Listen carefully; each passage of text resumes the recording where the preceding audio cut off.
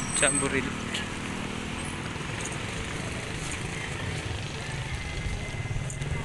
Jambor Lake ayan medyo mahirap yung niya sukal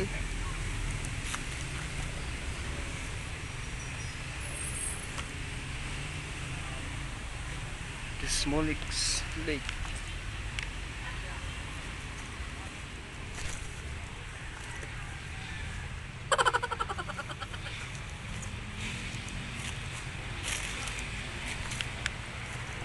So kuya.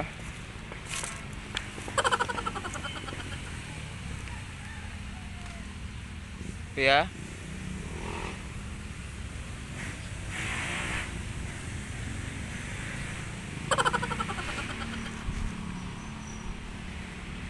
Smallest lakes in the Philippines. Ayan, nandito tayo.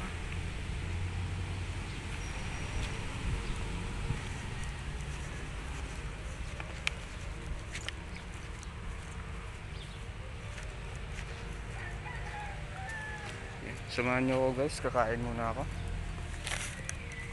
Eh, Hindi pa ako nag-aalmusal. Guys, magandang magandang umaga mga kanatics. Nandito tayo ngayon sa Jamboree Lake kung saan matatagpuan ang, ang ah, pinakamaliit na lawa sa Pilipinas. So ngayon guys, samahan niyo muna ako ngayon. Tayo magbe-breakfast dahil ako hindi pa nag-aalmusal. Pakita ko lang yung breakfast ko. Ayan, pakita ko lang yung breakfast ko. Ayan. Yung 7-Eleven meal busog meal. Jumbo sisig. So guys, samahan muna ako, kain muna ako.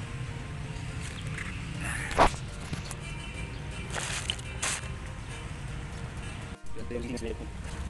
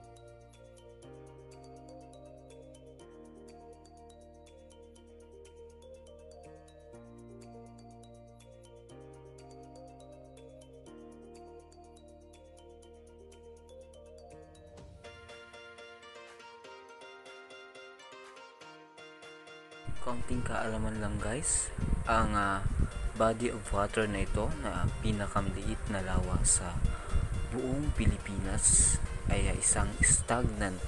Na ang ibig sabihin ay wala siyang dumadaloy na tubig. At ah, kapag umuulan ng malakas ay ah, umaapaw hanggang sa ah, level ng ah, pataas or sa taas na yan ng poblasyon Natix, nandito tayo sa pinakamaliit na lake sa Pilipinas. At ah, ngayon makakasama natin ang ating uh, magiging videographer. Walang iba, si Kuya. Pangalan mo? Marvin po, Marvin. Marvin. So siya muna ang magiging photogra- ah, videographer natin ngayon. So let's start.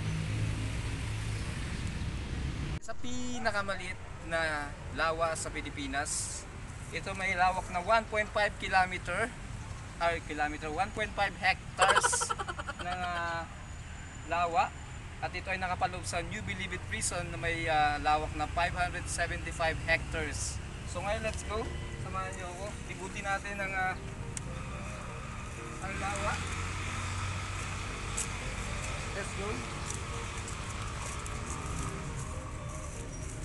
Kung mapapansin nyo, napaka-relaxing dito. Good for family bonding. Saka, makikita nyo, napaka-nature talaga. Napakalawa. So.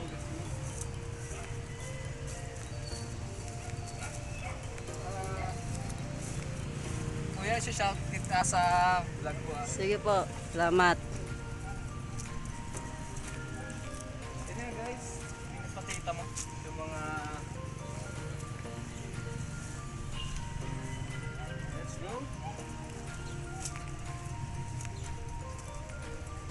Nakatira ba dito? Ano po, doon po sa taas meron lang. Pero sa dito, pang ano lang po yan. Tambayan.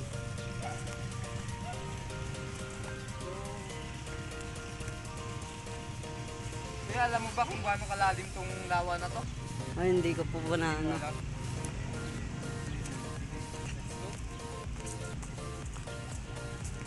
Hindi ko siya na-research.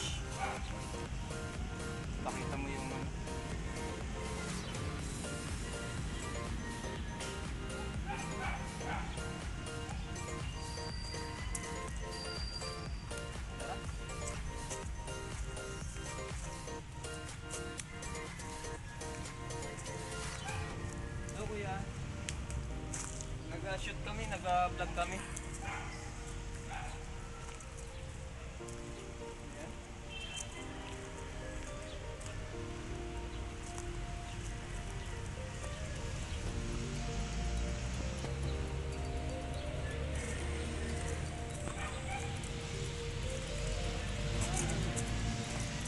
ko meron pa connection yun doon.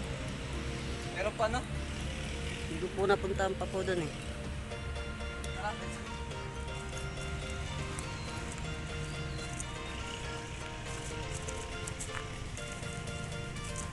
Alam nyo ka guys na ang ah, kapag umuulan na malakas ay ah, umaapaw mula hanggang dun sa nakikita nyo na yan na kalsada na yan pa, pa katarungan ang ah, ah, tubig na nanggagaling sa lawa kung kaya't napakadelikado talaga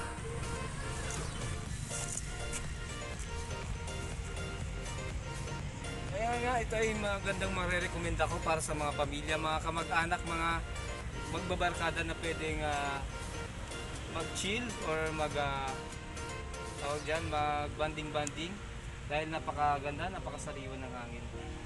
So, let's go. Ay, makikita nyo naman dito may mga cottage. Ito ba inaarkilahan or libre lang? Libre lang po. Libre lang ito dahil ah, ito ay hawak pa yata ng gobyerno, ano? Opo. Ito ay hawak pa ng gobyerno.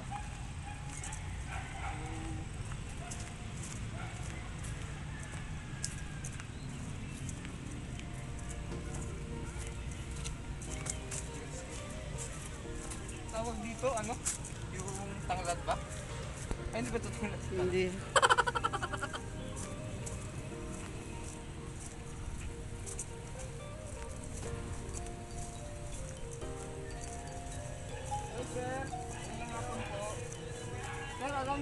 gaano ah kalalim? Ah, vlogger po ako sa YouTube, sir.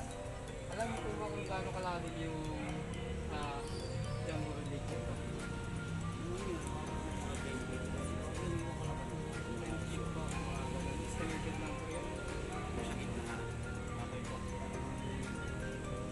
po. Salamat po sa munting kaalaman po. Yun nga, sabi ni Sir, kaya umabot daw ng 10 feet yung ah, lalim ng lawa. So, tara, libutin pa natin. Ito na naman napakaraling mga ah, cottage pa dito. Napakaganda talaga dito mga banding-banding.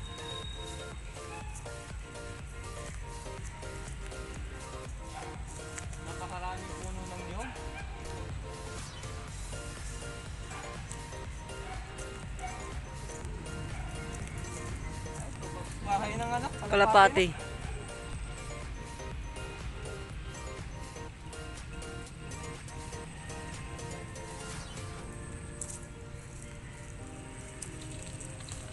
So malalim din pala daw ito, 10 feet din daw.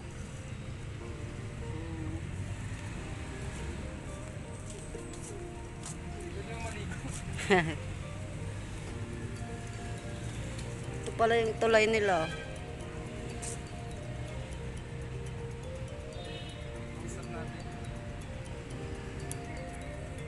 Samahan niyo pa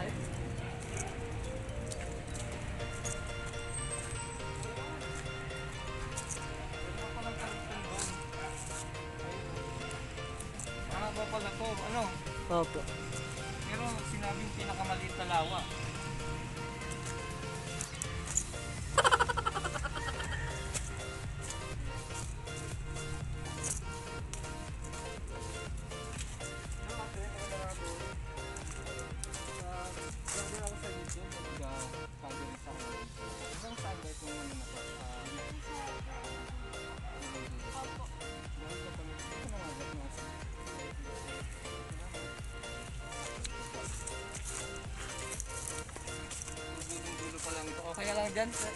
Okay ano, lang po, okay lang po, okay.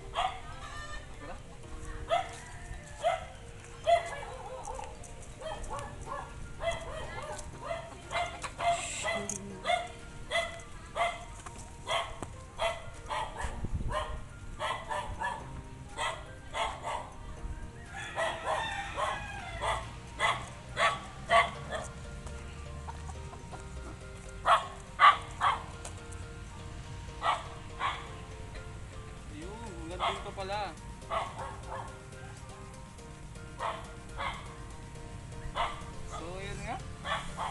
Nalibot na natin hanggang doon lang yung pinaka ah, kaya nating maabot na pwedeng i-videoan dahil wala nga tayong drone. So, let's go. Balik na ulit tayo.